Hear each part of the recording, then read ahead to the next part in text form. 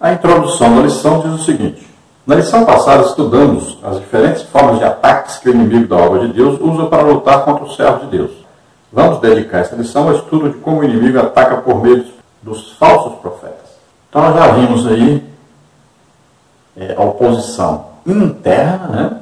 Havia os ricos oprimindo os pobres. Vimos aí também outro tipo de opressão do inimigo que vem contra, né? vem criticando, né? vem difamando. Vimos isso na lição passada. Hoje nós vamos ver aí quando o inimigo usa então a falsa profecia, o falso profeta. Melhor falar assim, falsa profecia, porque aqui o profeta era profeta mesmo. O problema é que ele agora é usado uma falsa profecia. Né? Então, olha só, precisa de discernimento. Porque às vezes uma pessoa é de Deus, sempre foi de Deus, e de repente pode trazer uma mensagem que não é de Deus. Ninguém é infalível, ninguém é perfeito. Assim como o pregador, o pastor, o mestre, né, o professor de escola unical, pode a vida inteira estar certinho, mas de repente pode trazer uma coisa que não está certa. Então pode o profeta legítimo de repente trazer uma mensagem que não é legítima. Por isso que deve haver julgamento. No tópico 1, então, nós temos cuidado com os falsos profetas. Subtópico 1. Os samaritanos observavam que os judeus davam muito valor à palavra dos profetas. Lembravam-se dos profetas Ageu e Zacarias, os quais profetizavam com tanta graça que a construção do templo, que havia estado parada por 15 anos, recomeçou imediatamente e continuou até a inauguração da casa de Deus. Por ocasião da construção do muro, a comunicação entre os judeus e os samaritanos estava interrompida. Os judeus recusavam as propostas de cooperação dos samaritanos e não aceitavam as visitas deles. Em vista das constantes recusas das suas ofertas de amizade, os samaritanos procuraram então influenciá-los por meio de profecias. Tobias e Sambalate conseguiram subornar alguns profetas entre eles, a profetisa Noadias, a fim de atemorizar Neemias, dizendo que ele estava em perigo de morte e deveria fugir para dentro do templo para assim salvar sua vida. Neemias 6, 10 a 14. O exemplo deixado por Balaão prova que qualquer profeta que aceita suborno ou recebe dinheiro para profetizar é um falso profeta. Devemos ter cuidado a fim de que os falsos profetas não encontrem guarida em nossas igrejas. Então os inimigos já tinham tentado de tudo. Agora eles sabem que é muito importante para os judeus o ministério profético. Então, o que, que eles vão fazer? Eles vão subornar, vão ver quais profetas aí aceitam suborno, quais estão aí chateados com o governo, estão aí às vezes esquecidos, menosprezados. Vamos ver se a gente consegue alguns profetas que vão mentir, que vão fazer alguma coisa que leve o Neemias a errar. Então o que eles fizeram? Procuraram, acharam alguns profetas, dentre eles, aqui a profetisa Noadias, uma mulher então que era usada em profecia, e o profeta Semaías. Olha só. Eram conhecidos, tanto é que são citados por nome aqui. Então eles foram usados para mentirem a Neemias, atemorizarem, colocarem medo em Neemias, dizendo que ele ia ser morto. E esse profeta Semaías ainda disse, é hoje ainda, hoje à noite, você tem que, a última oportunidade sua, veja só. Então eles queriam atemorizar, aterrorizar Neemias. Os profetas sempre foram importantes né, para o povo judeu. E profetas de Deus profetizaram todo o tempo. Mas ao mesmo tempo que existiam os profetas de Deus, existiam também os falsos profetas. Veja aí o exemplo, né? No tempo de Acabe e Jezabel. Quantos, né? Havia ali mais de oito, uns 800 profetas falsos, né? Havia os profetas de Baal e os profetas de Azerá. E os profetas de Deus haviam sido mortos, né? E guardados foram 100 profetas, escondidos, né? foram alimentados ali por pão, né? por um servo de Deus, e havia o Elias, que achou que só existia ele. Então havia profetas de Deus e havia os falsos profetas. E assim todo o tempo, na existência de hebreus, né, depois israelitas. Veja aí, Moisés era um profeta, Abraão era profeta, e assim vários outros profetas né, que se destacavam, como Elias, Eliseu, o Isaías, né, o profeta Samuel. Então, olha só, vários profetas se destacavam, homens de Deus. Mas também existiram os que não eram de Deus, né? como aí o Ananias e outros aí. Subtópico 2, Neemias tinha o dever de examinar a profecia recebida. E ele o fazia. Em primeiro lugar, estranhou a ordem para fugir. Um homem como eu fugiria. Além disso, ele observou que não tinha o direito de entrar no templo, uma vez que não era sacerdote. Compreendeu facilmente que tudo não passava de um ardil de Tobias e Sambalados para atemorizá-lo e seduzi-lo a pecar. Assim concluído o exame da profecia, Neemias pôde dizer: Conheci que não era de Deus. Neemias 6,12. Então, um líder ele deve examinar né? Aí a pregação, o ensino. Isso é normal. Agora, ele deve buscar o discernimento espiritual para discernir agora aquilo que ele não consegue entender e descobrir através do seu conhecimento bíblico.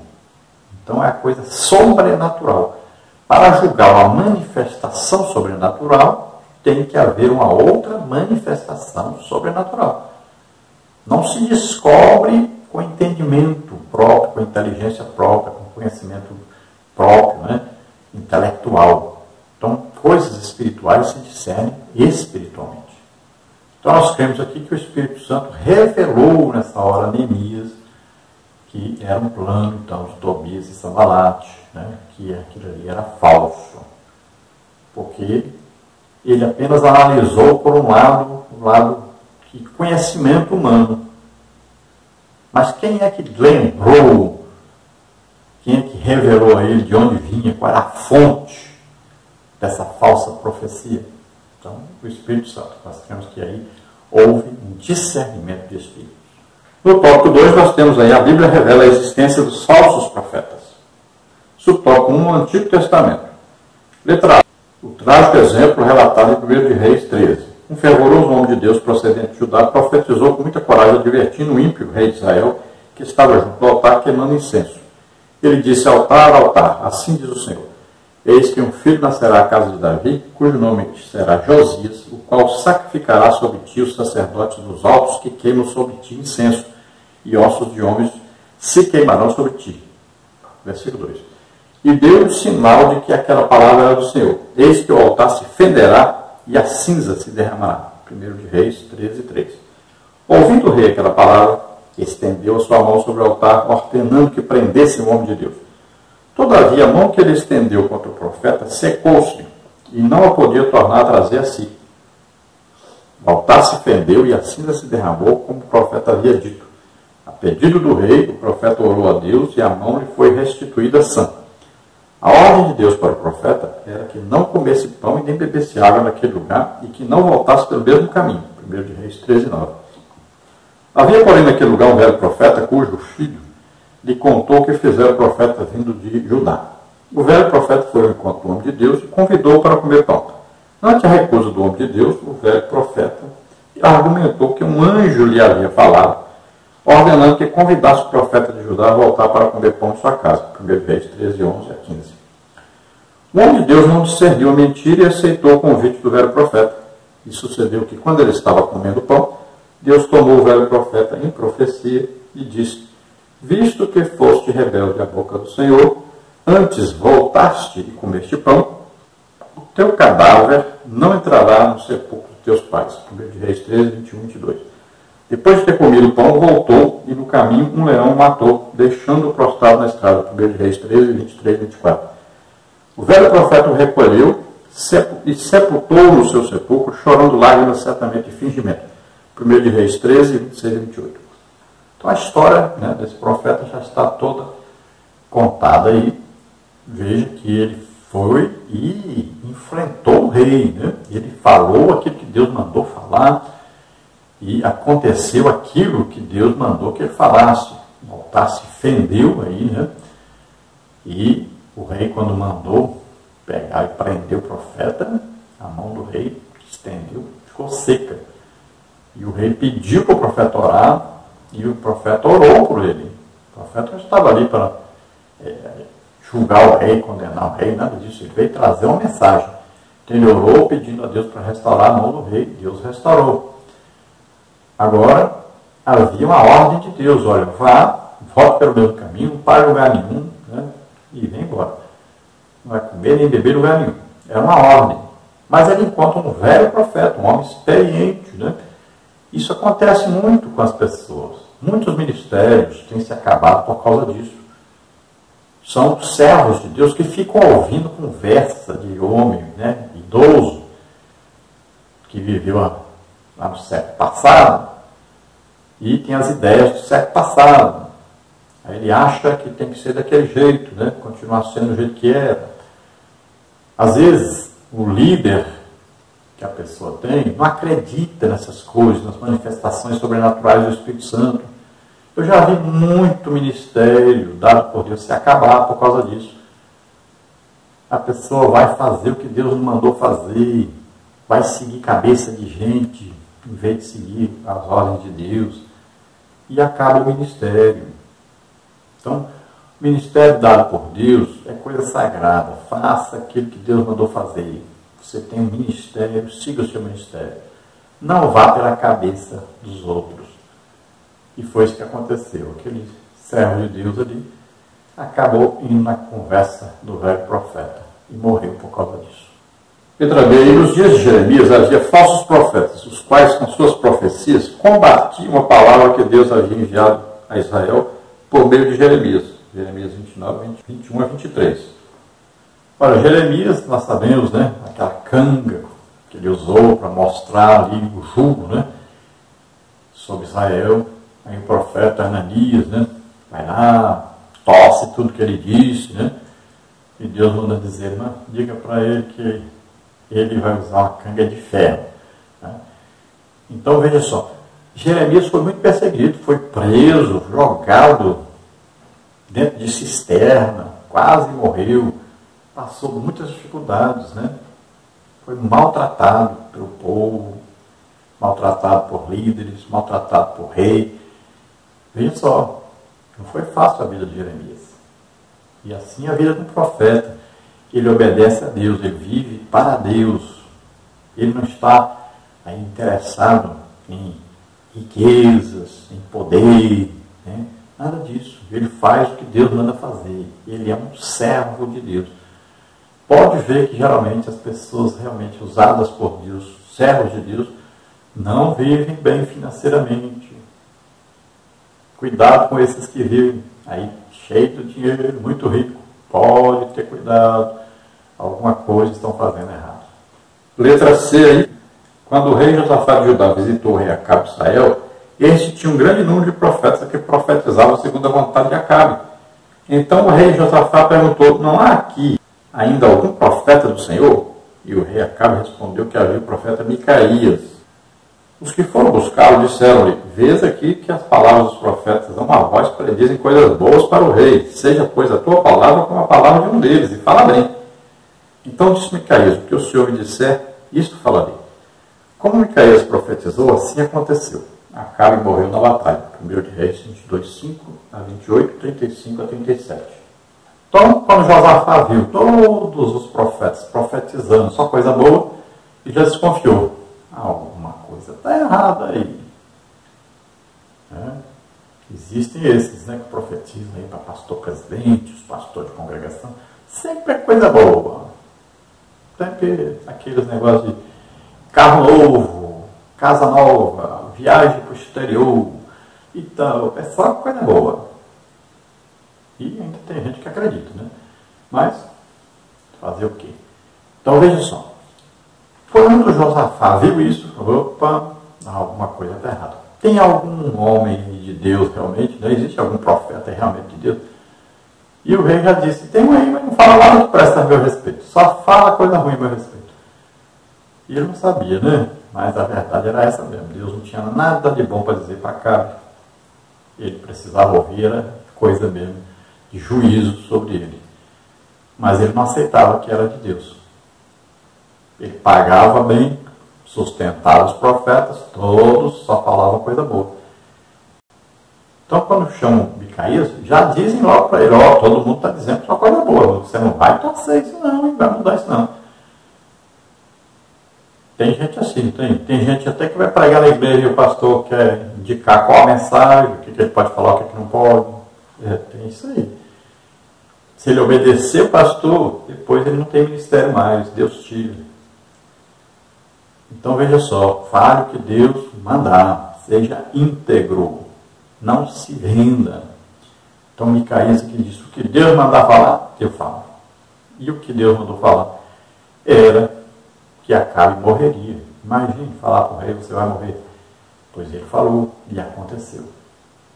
Letra D. Ainda nos dias de Jeremias, falsos profetas conseguiram influenciar alguns dos sacerdotes e enganar o povo por meio deles. Jeremias 5,31.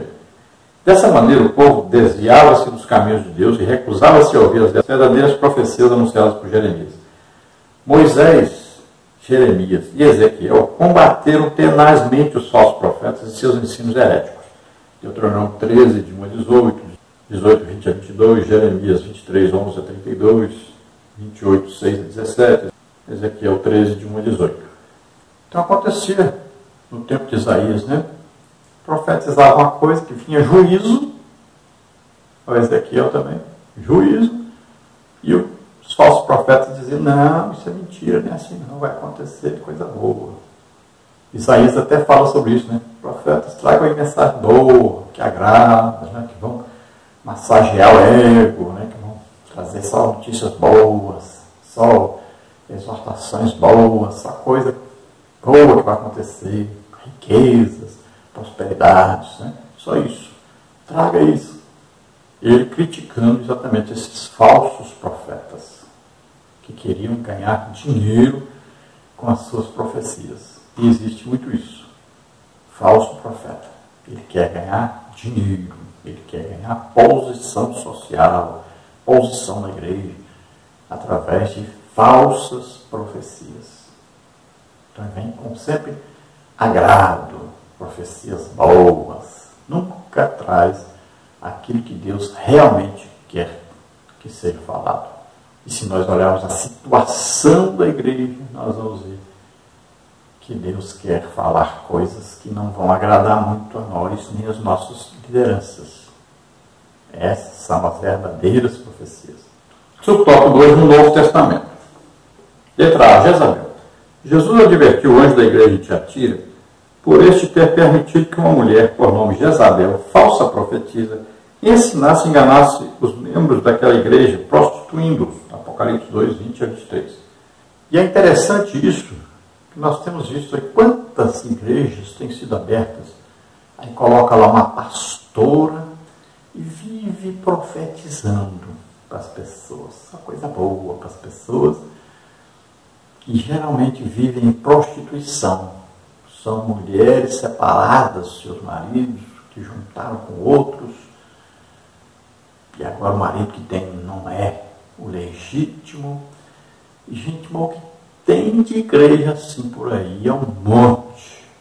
E aí, o que, que o povo vai fazer? A mesma coisa vão cair na prostituição, vão viver de qualquer maneira. Mas estão na igreja. Não tem igreja aí de homossexual, tem igreja de tudo quanto é jeito. De lésbicas. Né? Tem igreja de tudo quanto é jeito. Veja bem. Então, cada dia se multiplica mais esse tipo de igreja, com lideranças que são falsos profetas mas que vivem profetizando. Pode olhar nessas igrejas, vivem de profecia. E os líderes vêm, que vêm e pregam ali, profetiza, coisa boa, a pessoa chora e tal, se emociona. É a igreja baseada em emoção, não em espiritualidade. Não vive em santidade. São igrejas que nunca crescem, sempre pequenininhas. Letra B, a Bíblia adverte que nos últimos tempos aparecerão falsos profetas. Mateus 24, 11 e 24. O espírito do anticristo estará então operando grandemente. 1 de João 2, 18, 4, 2, 3. e fará esses falsos profetas operarem sinais e prodígios de mentira, com todo engano e injustiça. 2 Tessalonicenses 2, 9 e 10. A Bíblia, então, adverte sobre o tempo da grande tribulação. Durante a grande tribulação, haverão grandes falsos profetas que farão grandes sinais e prodígios né, de mentira. Veja bem, é um engano. Parece que é coisa de Deus, mas é mentira. São coisas fabricadas. Né, são um teatro, na verdade. E nós temos nossos dias aí, tem igreja, né? Que fabrica em milagre, paga as pessoas para falar mentira. Paga a pessoa para falar que ganhou muito dinheiro, comprou um carro, comprou uma casa nova, gente que não tinha o problema de saúde, na verdade, aí diz que foi curado. Pessoas são pagas para fazer isso. É um engano. Né? Existe isso. Sempre existiu e sempre existirá isso enquanto houver terra. Então veja só. São os falsos profetas que andam por aí para baixo para cima e tem que tomar cuidado com isso. Por isso é que deve haver julgamento, né? deve haver aí, ah, vamos ver se é verdade, vamos ver um atestado, né? um médico, vamos confirmar se a pessoa foi curada, vamos confirmar se falou e aconteceu. Tem que ser assim. Então tem que confirmar. É importante fazer isso. Documentar. Porque aí o povo realmente vê, é Deus mesmo Aí o povo vai crescer na fé, no conhecimento, na graça de Deus. O povo vai se animar a servir um Deus que realmente faz milagres, que realmente fala com a igreja. Tópico 3, devemos julgar as profecias. Subtópico 1, Deus quer a sua igreja revestida em todos os dons do Espírito Santo. A igreja de Corinto deve ser o nosso exemplo nesse sentido. Paulo dirigiu-se a ela dizendo que nenhum dom lhe faltava, 1 Coríntios 1,7. O conselho bíblico para nós é seguir o amor, procurar com os dons espirituais, mas principalmente o de profetizar, 1 Coríntios 14, 1. Então a igreja deve buscar os dons espirituais. Imagine como seria uma igreja com todos os dons do Espírito Santo operando nessa igreja. Primeiro, vamos ver aí as pessoas doentes. Haveria pessoa doente? Talvez. Duas, três. Veja só todos curados das suas enfermidades.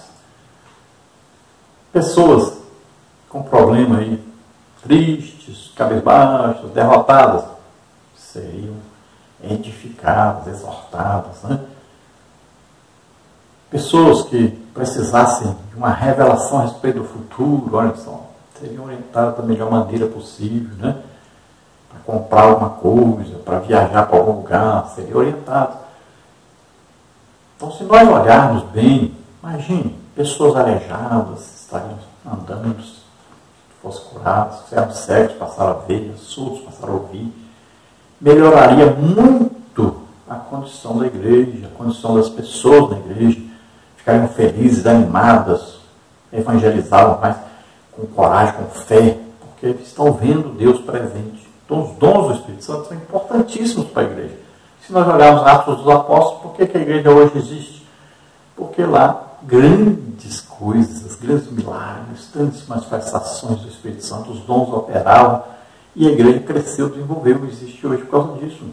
Se nós olharmos aí, quando Daniel Berg e Gunavinha entraram aqui no Brasil, sempre olha, teve curas, teve milagres, manifestações do Espírito Santo, muito partido do Espírito Santo, os dons de operação, e a igreja cresceu. Então, são importantíssimos os dons. Agora, temos que buscar, os líderes precisam ensinar, precisam incentivar, precisam acreditar também. Né? Aí a igreja buscar e os dons operarem na igreja. E Paulo diz que principalmente o dom de profecia, porque ele edifica, ele consola, ele exorta a todos. É importantíssimo. Você vai falar, ah, mas a igreja de Corinto tinha grupos, tinha problemas. Tinha. A nossa também não tem. A sua tem ou não tem? Tem. Muitas vezes está escondido, mas tem muito problema. Então, ah, já desculpa ah, para não buscar dom, porque pode acontecer igual com Corinto. Não. Apesar, tem que dizer assim, apesar de haver pecado, de haver coisa errada na igreja, Deus estava presente poderosamente com os dons do Espírito Santo em operação. Então existiam irmãos que realmente buscavam, acreditavam estavam sendo usados por Deus. Agora, existiam irmãos carnais? Sim, existe em toda igreja? Existe.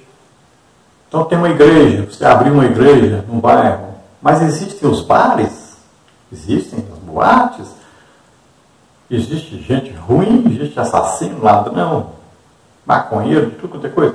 Existem. Então a igreja, existe os crentes verdadeiros falsos. Existem os que vão ser arrebatados e existem os que não vão ser. Subtópico 2, o despertamento renova os dons. Quando Deus renova o dom de profecia e os dons de variedade de línguas e interpretação por meio de um despertamento espiritual, então se torna necessário que a igreja esteja bem doutrinada para saber como usar os dons espirituais e também como se deve julgar as profecias conforme a palavra de Deus nos orienta. 1 Tessalonicenses 5,19. Nenhuma mensagem tida como profética está isenta de exame por parte da igreja. Conforme o ensino do apóstolo Paulo, na referência supracitada, temos o direito e o dever de julgar as profecias para ver se elas estão de acordo com as Escrituras. Se não estiverem, são consideradas anátema, pois têm o objetivo de conduzir o povo de Deus ao erro. Fujamos das falsas profecias e dos falsos profetas. Então, quando há um despertamento espiritual, quando é uma busca por avivamento, há uma busca pela presença de Deus, as manifestações do Espírito Santo, elas acontecem. Agora, a liderança da igreja tem que participar. Não é mandar os outros fazer. A liderança tem que participar para poder o quê? A poder, para poder aprender a julgar. Então, o que acontece? Muitas vezes um grupo busca os dons, as manifestações do Espírito Santo, mas a liderança não vai, não participa.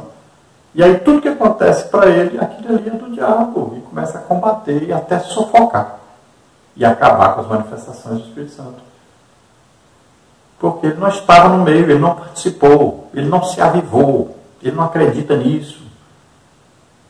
Ele não sabe o que fazer na hora que precisa fazer uma coisa.